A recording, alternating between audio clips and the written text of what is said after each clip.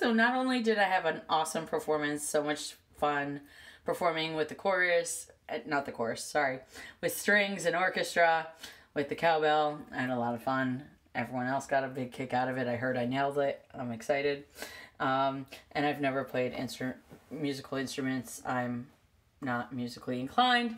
So anyhow, um, I come home. My brother had messaged me that he left stuff on my bed, yada yada, and so I come home and look at who's on the bed. R two and BB-8, his BFF, and his head turns even.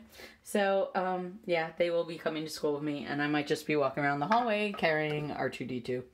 Um, so anyhow, that was fun. Yay. And, um, and he gave me a huge gift certificate for PetSmart. So fishes will be taken care of for a very long time.